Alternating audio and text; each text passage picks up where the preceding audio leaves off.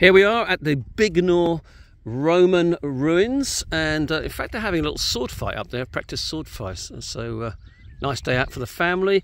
But we're here to talk about the BSA 650, which my good friend Ian has bought and owned for around.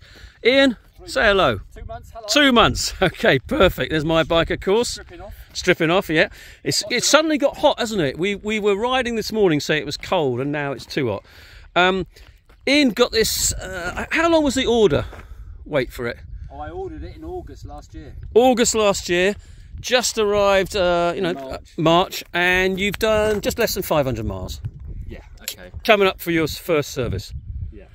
Yeah. I've had a little whiz around this area here, down to the main road and back, and I just said to him, they obviously you were running in, so we've got to be careful. More than enough power, would you agree?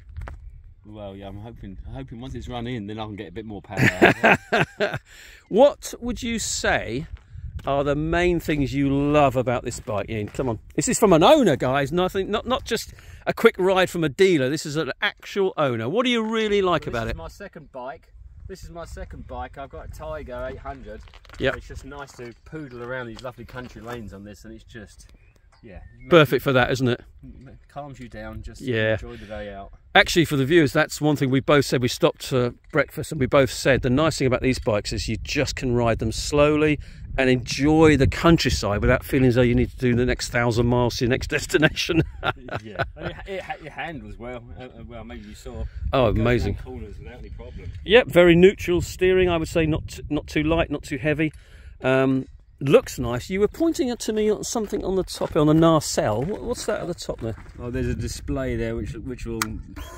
Oh, that's cool. That's very old school, isn't it? I love that. The only the only bad thing is that you.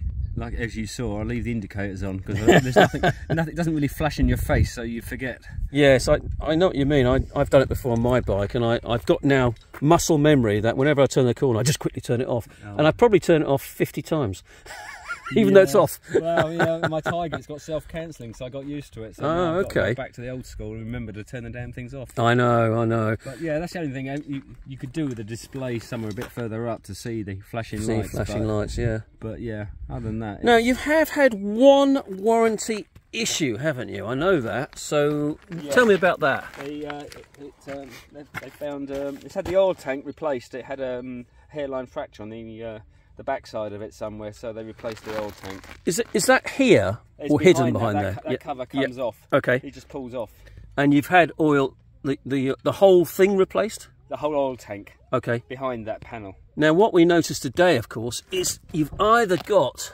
some residual mess or it needs doing again. Uh, yeah, I'll, I'll have that looked at on the um, Yeah. when it goes for its first service. I mean, to be fair, it's all covered under warranty, so it's not a major issue.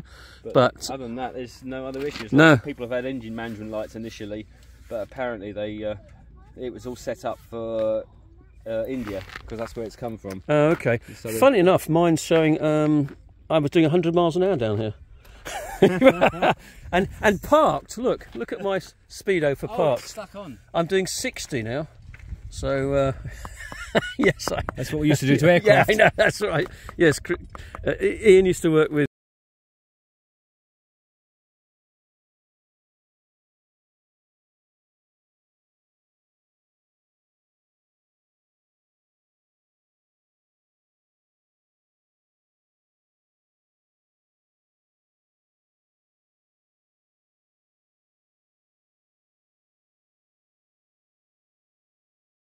Asking how much was it, or there or thereabouts? Seven thousand three hundred, 7,300, which I think is Interceptor area, Royal Enfield Interceptor area. and it's the um, it's the legacy edition, so it's probably a little bit. You can get the cheaper ones. Ah, I didn't know there was a different. diff- What what does the legacy mean It- That's the, with a chrome tank. with a chrome tank, which There's is other beautiful? ones which come in different colours, but uh, That's the legacy nice. is uh, yeah. Yeah.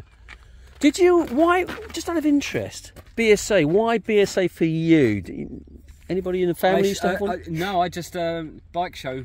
oh yeah, I went fatal. to the bike, the bike show and I sat in one before it came out, and I didn't- even though it was only in the showroom, but I just loved it. Yeah, Just loved it. yeah. I mean, it's It's got. nice A, to put my feet firmly on the ground as well. oh, I know, I know. I just was, there was a Triumph Tiger adventure bike at the cafe a minute ago, and I looked at that seat height and I thought I just don't want to totter, trying to reach the floor all the time. It's quite scary, isn't it? My seat's lowered on the Tiger. Is it? Yeah, yeah. I, Being a short it's quite scary when you when you pull up sometimes and you think you can't get both feet flat. But uh, no, that's nice, really nice. It looks. Do you know it, they've done a clever job? It looks like it's back in the 50s or 60s, but of course you've got the radiator. Of And course. I've learnt what all these. Oh yeah, what does that mean? It- It's um, BSA stands for Birmingham Small Arms. So it was the rifle So they used to make rifles. Yeah. In World War Two times. Wow. So that's what that means. They don't do, still do them, do they? Do you know? Uh, no, they don't make No, things. now. okay. I've spoke to an old guy the other day, and he said they. Um, he said it stood for something else. They made out something sore ass. something sore ass. They said. British, it- British sore ass. Sore ass. Yeah. I've, not had a problem with that as yet. No. Oh, you got your ignition on, by the way. Got a nice little. That's clever. I, li- I like those little designs that you sometimes takes a while to pick them up, uh, and you've got it on the the um, thing as well. Petrol cap. Nine, yeah, the 1903. Straightforward petrol cap. Unwind, screw screw in, or is No, it? No, it's a key. It is a key. Oh, cool. That's clever. Hidden. Here's a key, and you got uh, USB. Oh, was that standard? Yes, USB they, standard. they'll come with that.